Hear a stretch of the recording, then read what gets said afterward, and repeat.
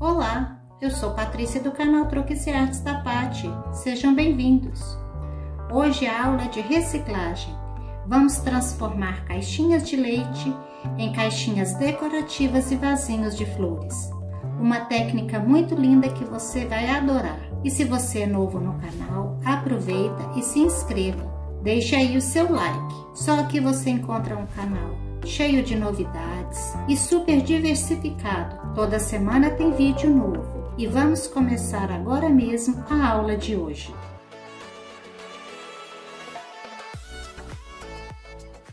Para o trabalho de hoje, vamos precisar de uma caixinha de leite. Vamos retirar a parte de cima da caixa, vamos lavar e limpar. Em seguida, vamos pegar uma régua e uma caneta e vamos fazer uma marcação na nossa caixinha. Vamos marcar 10 centímetros de cima para baixo. Eu vou marcar dos quatro lados. Vocês podem fazer maior ou menor.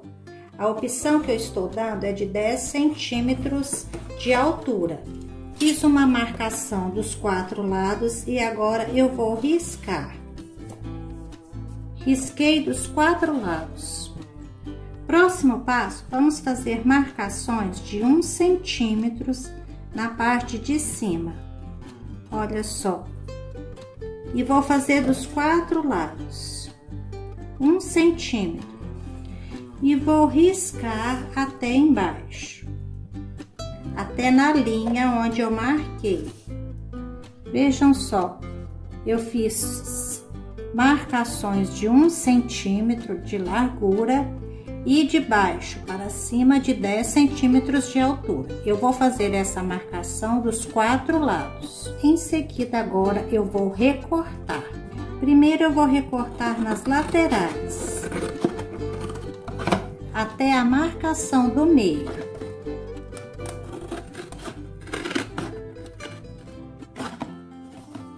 eu vou tirar os lados primeiramente da caixa.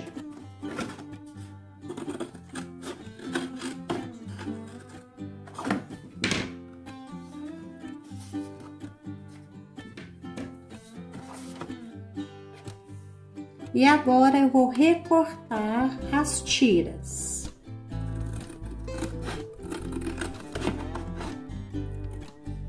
E ficou assim. Eu vou agora virar as tiras para baixo.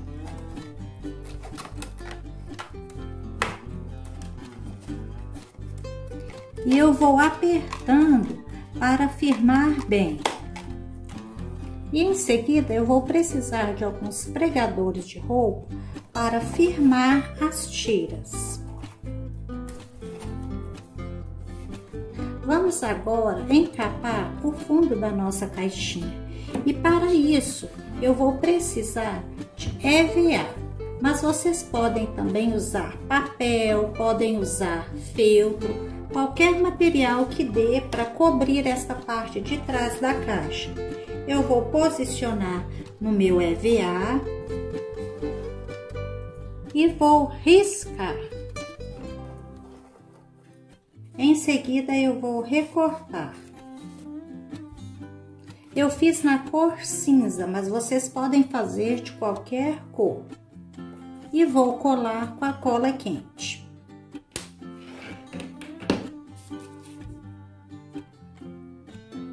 E para decorar a nossa caixinha, vamos precisar de fitas. Essas fitas são de cetim. Vocês podem usar a cor de sua preferência. Ela tem 2 centímetros de largura e eu vou precisar de quatro pedaços de 30 centímetros para esta caixinha. Se vocês forem usar uma caixinha maior, é só vocês envolverem a caixa com a fita e deixar um pouco de sobra. E se vocês não tiverem também fita, vocês podem fazer este mesmo trabalho com tiras de EVA também fica excelente. Vamos trabalhar primeiramente nesta parte. Vamos retirar os pregadores e vamos pegar uma das tiras da fita. Nas pontas, vamos queimar para que a fita não desfie. Vamos fazer isso em todas as fitas. É apenas dar uma queimadinha nas beiradinhas da fita. Para fazer a trançagem da minha caixinha, eu vou levantar a primeira tira e bem embaixo eu vou colocar um pingo de cola quente. E vou colocar a fita. Ela vai ficar por baixo. E depois que eu colei a fita na caixinha, agora nós vamos começar a sequência da trançagem. Esta parte vai vir por cima da fita e esta outra vai vir por baixo. Então, eu vou passar a fita para o lado esquerdo, eu vou descer e passar esta por cima.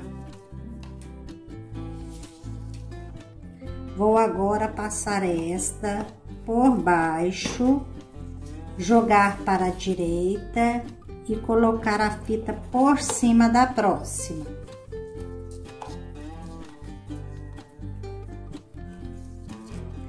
Olha, nós vamos fazendo isso sucessivamente. É uma para cima e outra para baixo. E à medida que eu vou fazendo, eu vou puxando a fita. Terminei de fazer esta primeira camada, eu vou colocar novamente os pregadores para fixar. E vou continuar do outro lado, a mesma coisa, um para cima e outro para baixo. Eu vou retirar os pregadores e vou continuando. Olha, esta aqui ficou para baixo, então a próxima será para cima. Eu vou continuar a sequência. Parece meio complicado, mas depois vocês vão pegando o jeitinho. É sempre levantando uma tira, passa a fita e abaixa a outra.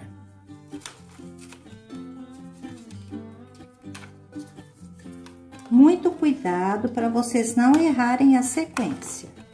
E sempre que terminar de fazer a primeira camada, vocês voltam e colocam os pregadores para não ter perigo de soltar. Olha, se a fita aqui foi por cima, a próxima ela virá por baixo. E chegando no finalzinho, eu vou colocar cola bem onde eu comecei meu trabalho. E fiz a primeira camada em toda a caixa. Vou colocar cola bem onde eu comecei para tampar a emenda da fita. E para fazer a segunda camada, eu vou pregar outro pedaço de fita. E agora eu não vou iniciar nesta primeira tira, eu vou iniciar pela segunda tira. Eu vou colocar cola bem aqui, ó, embaixo. Então é apenas colocar um pinguinho de cola quente e colocar a fita. Observa que aqui em cima tinha fita e agora aqui tem a tira da caixa. E vou continuar o meu trabalho, fazendo a mesma coisa, uma para cima e outra para baixo.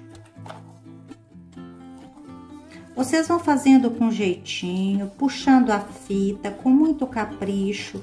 Este trabalho não pode ser feito com pressa, tem que ser feito bem detalhado, com bastante calma, porque à medida que vocês vão fazendo, vocês vão ajeitando a fita.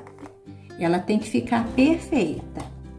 Parece trabalhoso, mas não é. E vocês vão firmando com os pregadores para facilitar o trabalho. Vão colocando e tirando e continuando sempre assim, um para cima e um para baixo. Sempre o primeiro trabalho é mais trabalhoso mesmo, mas artesanato exige paciência e persistência. E finalizando a segunda camada, eu vou fazer a mesma coisa, eu vou colocar cola e vou prender a fita. Observem como está ficando. E agora, para começarmos a terceira camada, eu vou levantar esta primeira Vou colocar a cola e pôr a fita, porque ela vai por baixo. É sempre assim, ó, uma tira, uma fita e uma tira. E agora eu posso continuar a sequência e fazer a mesma coisa que eu fiz nas outras. Terminei de fazer todas as camadas e vocês vão perceber que vai ficar estas pontas na última. Então, nós vamos agora cobrir esta parte de baixo com mais um pedaço de fita. Agora, esta fita virá por cima apenas para cobrir as pontas. Eu vou colar esta parte com a cola quente. Aconselho a vocês esticarem bastante a fita para que ela fique perfeita. E para ainda dar uma graça ao meu trabalho, nesta parte de cima, eu sugiro a vocês a colocarem algum outro acabamento, como pérolas, vocês podem colocar sinhaninha ou até mesmo uma tira bordada. E olha que gracinha que ficou a tira bordada na nossa caixinha. Vocês podem fazer também de diversas cores e podem usar para várias utilidades, como porta-trecos ou porta-canetas, porta-tesouras ou até mesmo vasinhos de flores. E agora preciso de sua opinião. Deixe aí nos comentários o que você colocaria dentro desta caixinha. E se você gostou da dica de hoje, dê o seu like e não se esqueça, faça parte de minha turma e se inscreva no meu canal. Um beijo a todas vocês e bye bye!